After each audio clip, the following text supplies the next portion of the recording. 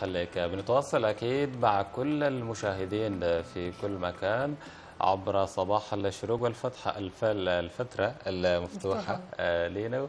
أكيد متواصلين معكم في نقل حي وحتى طواف في كل المدن والأرياف وكل المناطق المتأثرة. نعم. حنمشي للسلطنة الزرقاء آه، مدينة سنار أو ولاية سنار ومدينة سنجة. حنتابع التقرير وأكيد حنتواصل معكم. عاش سكان الأحياء الشرقية بمدينة سينجا أوضاعا إنسانية صعبة للغاية.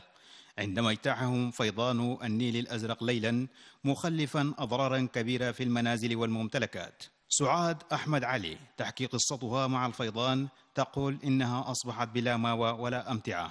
البحر ده جانا بغفله وضررنا ضرر شديد. فرقنا اللي بهدومنا لابسينين فقدنا دواليب فقدنا العده وفقدنا المراتب والسراير وصل الحمد لله بركة في الأرواح. بيوتنا وقعت الحمد لله. وقع مطبخ وقعت عريشه وقع السور الحمد لله. والوضع على وشك الموية في المروحة والله. آخرون مثلها تعرضوا لخسائر فادحة وتعطلت أعمالهم التجارية بفعل الفيضان. يا الناس مربوطة بس جعانين والله أنا فطور ما فطرتها من الصباح لا في العيش ما في. والافران دي كلها بجاي وقعت. 11 فرن وقعت. كلها تضررت كلها مليانة دقيق. حس الافران دي كلها مليانة دقيق. وكلها قبواتها وقع ما في فرن نصيح. دب. ويقول السكان المحليون إن هذا الفيضان لم يشهدوا مثله من قبل متجاوزا كل المناسيب السابقة. وحقيقي يعني إحنا يعني لنا أشياء كثيرة جدا فقدناها يعني حتى عندنا المعدات الكهربائية ثاني قد يكون احتمال ثاني ما يشتغل خالص يعني الله أعلم. آه، بالإضافة إلى ال- الرعب ذاته.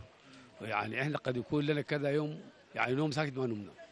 والحمد لله نحمد الله على كل حال. بينما أطلق متضررون نداءات إنسانية عاجلة للحكومة المركزية والمنظمات بالتدخل العاجل لمساعدتهم. أنا دار أقول من خلال آه، هذا ال- التصريح وهذا ال- التقرير آه، إنه حكومة ولاية سنار لها الدور ال- الكبير آه، في هذا ال- ال- الفيضان لأنها لم تعمل مبكرا.